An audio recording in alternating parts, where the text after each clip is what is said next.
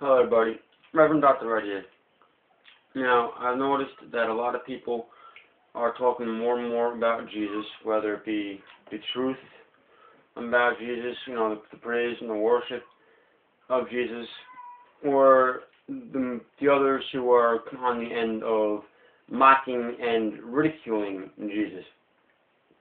But I have noticed over the past couple of months that one thing that everybody seems to agree about, um, you know, Christians and you know people who follow Christ, uh, particularly the pastors, um, as well as non-believers, all tend to agree on something about Jesus.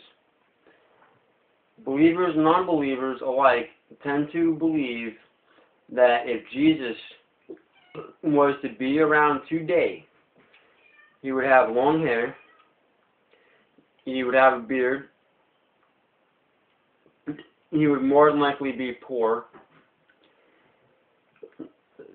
he'd be a well-rounded, you know, very kind individual,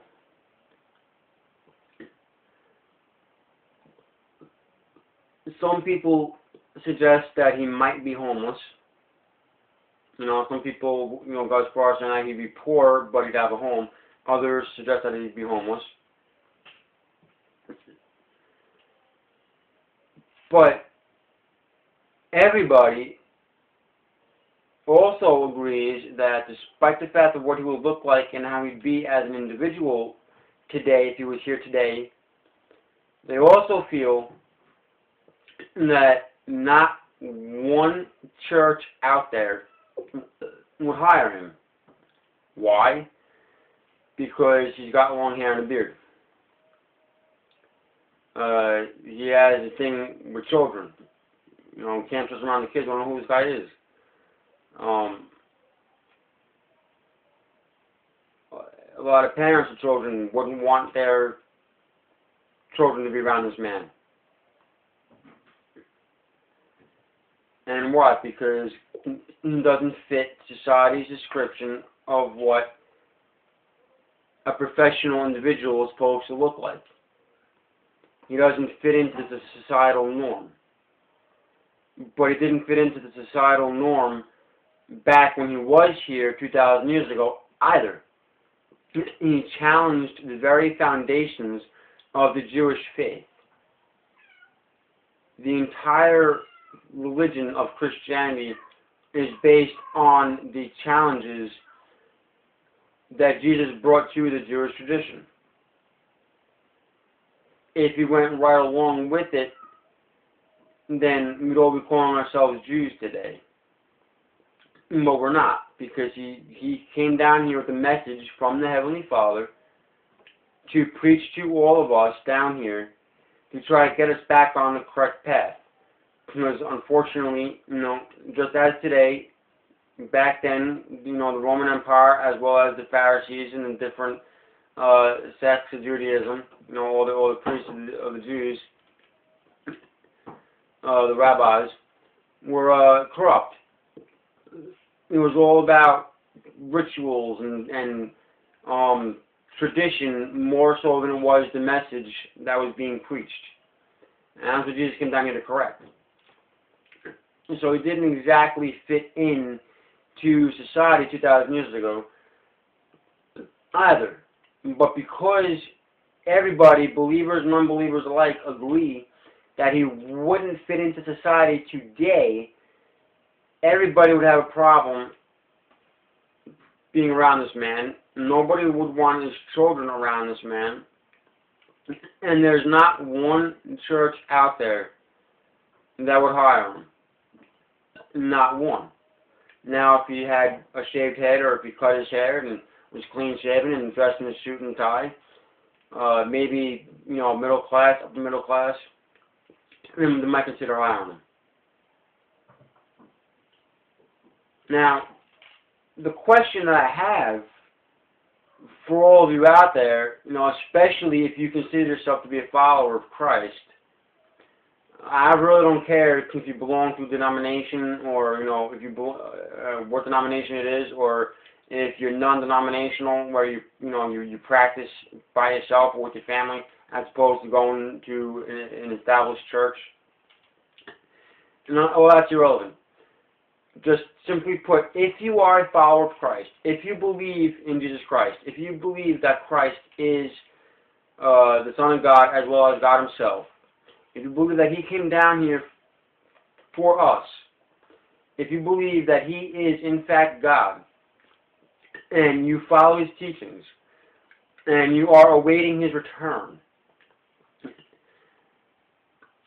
then how can you say that you follow this man, that you follow Jesus Christ's teachings, and you cannot obey his return if you are going to suggest that just based on what the Bible suggests of Jesus and what the mainstream uh, varieties of Christianity promotes of Jesus, that because Jesus, if he was here today, would more than likely be poor, would have long hair and a beard, would have a thing about, you know, being around children and telling children stories and, and whatnot,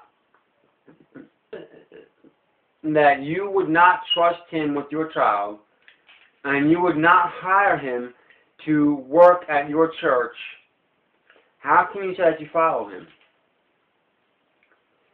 You know, everybody has a very clear picture of what Jesus would look like today of how he would be as an overall person, just based on you know their church's teachings or the mainstream uh, teachings of Christianity, and what the interpretations of the Bible bring to us.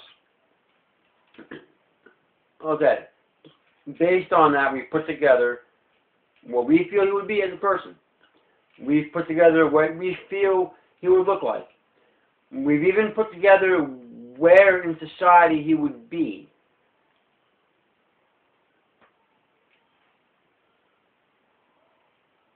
But we're going to go the extra step and say we wouldn't trust our children with him and we wouldn't hire him to work in our church. Yet, we're also going to say that we follow this man, that we believe he is God. We're waiting for his return. We believe that he is the truth, that he is the light, that he is life. Um, we all go to church and and worship this man. We all pray in this man's name. And again, we're all waiting for his return. But when he returns, we're not going to allow him to be around our children, and we wouldn't hire him to work in our church do you people really see the, the uh, contradiction in those two statements? You believe in him, you trust him, you feel he's God, you are waiting for his return. On the other hand, you wouldn't trust him with your children, and you wouldn't hire him to work in your church if he was here today. Yeah, that makes a lot of sense, doesn't it? I don't know. It's, it's, it might just be me. I might just be that crazy. Everybody that tells me that I'm crazy might be right. I might actually be crazy. But for some reason, I cannot understand why somebody would believe that uh, that an individual is God himself He's the truth. He's life. He's everything. You worship Him. You pray to Him. You follow His teachings.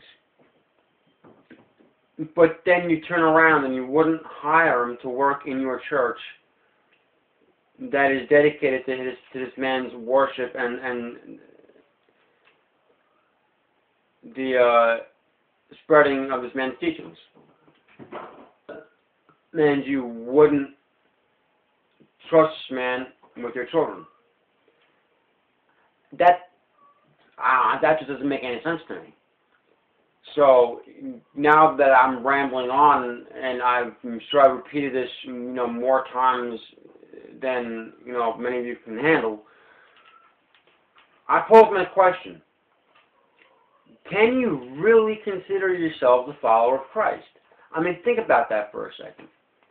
Can you really suggest that you are a follower of Christ if on one hand he's God, he's all that is, all that was, and all that ever will be, and you're out there spreading his teachings, claiming to follow his teachings, but on the other hand, you wouldn't trust him around your children, and you wouldn't hire him to work in your church.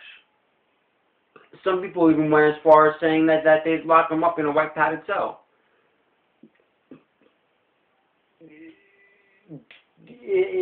Can you really consider yourself a follower of Christ if that's really what you believe? I mean, if you're really going to suggest that this man is God himself, you are about spreading this man's teachings. You worship this man. You pray to this man. You have buildings erect for the worship of this man and for the spreading of this man's teachings. Then wouldn't it be common sense that you, you would also trust him with your family, with your children, and wouldn't it, you know, make a little bit of sense to uh, want this man to work in your church, or possibly lead your church, since you worship this man? So I, I don't know, folks. How can you suggest you know, please leave me the comments in the comment section, okay? Uh, no action on remarks, please. But honestly, how can you suggest that you're a follower of Christ if you're going to turn around and believe that if he was here today, based on his appearances and based on the fact that he might very well be poor if he was around today, that you would not be able to trust him with your family and you would not hire him to work in your church. How does that make any sense? I mean, are we really going to judge God himself to what our society society standards are? I mean, with us, this society, man, feels that it's appropriate to be middle class, upper middle class, short haircuts, clean shaven face, suit and tie. Are we really going to expect God to come down here and obey our uh, rituals, our traditions, what we feel is appropriate? Or would he do as he's done before and challenge the very status quo? challenge our rituals and our traditions and try to prove to us the error of our ways and enlighten us with the truth. I mean, it's just, to me, it's common sense, folks. I mean, Christ was very clear in, in, you know, pointing out everything that was wrong with not just Judaism, but with every faith out there, right down to, to the sacrifices.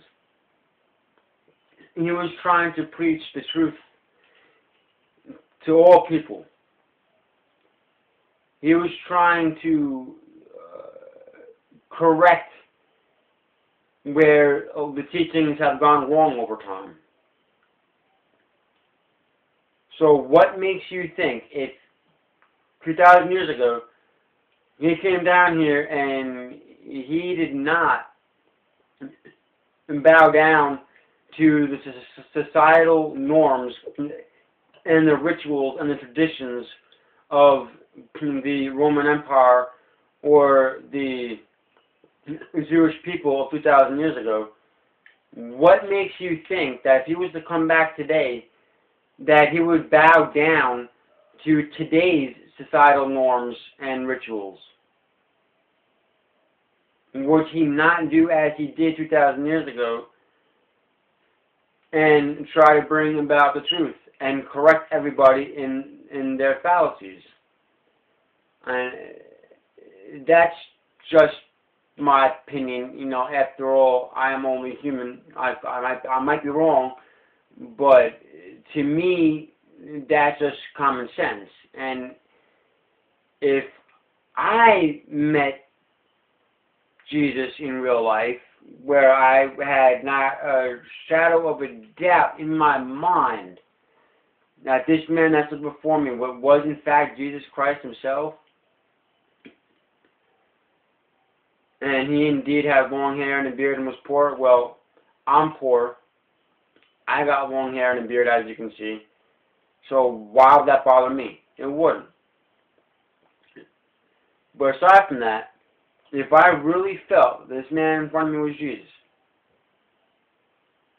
why wouldn't I trust him with my children?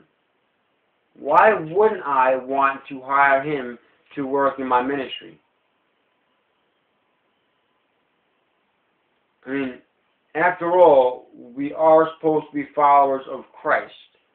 Christ is supposed to be the head of our churches or ministries. Jesus Christ is supposed to be, you know, the it. If he was to come back today, and you wouldn't hand over your church to Jesus, or at least hire him as an employee of your church or ministry. You know, that says something right there about your faith and about what you're really all about.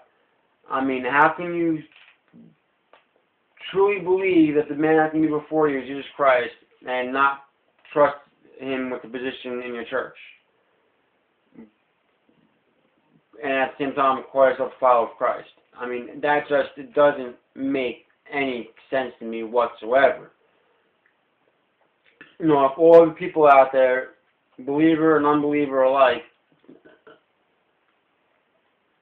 are gonna try to suggest that okay, fine, Jesus comes back, he's got a beard, he's got long hair, he's probably poor, maybe homeless, but he has a very well disposition, he's good with kids, he's got great stories, he's all about the Heavenly Father no, wouldn't harm a fly. But you would call them nuts, lock them up in a white padded cell, wouldn't trust them around your families, and you wouldn't hire them to work at your church. People, that just doesn't make any sense.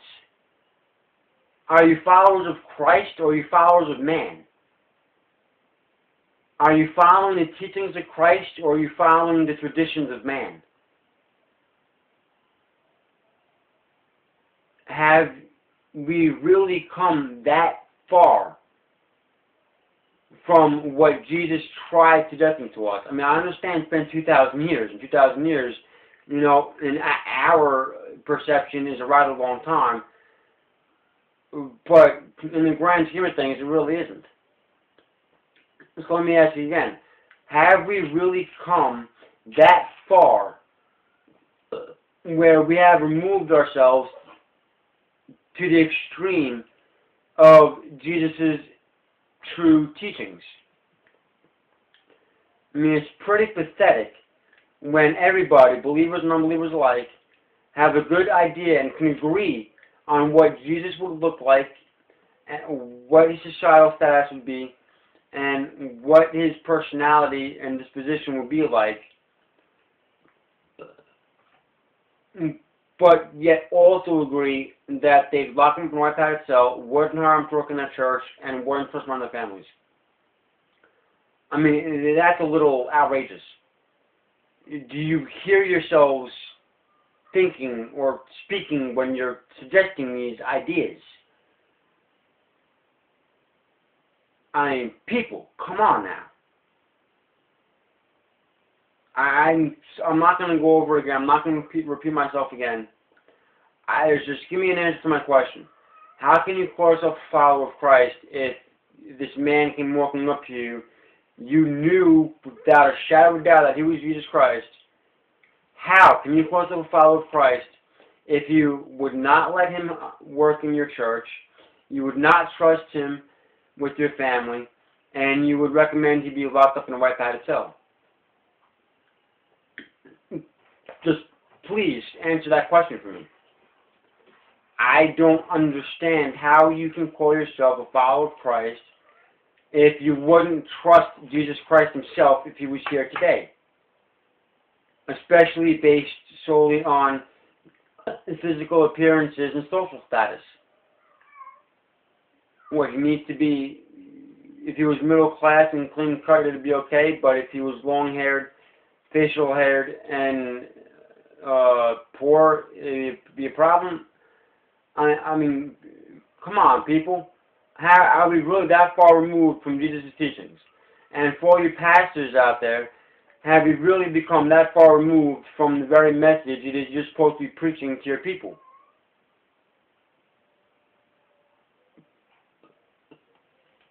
I understand a lot of pastors out there are all about numbers. We got we're going to give up on this and give up on that belief to bring people into the church. But that's all about money and greed. Nothing more.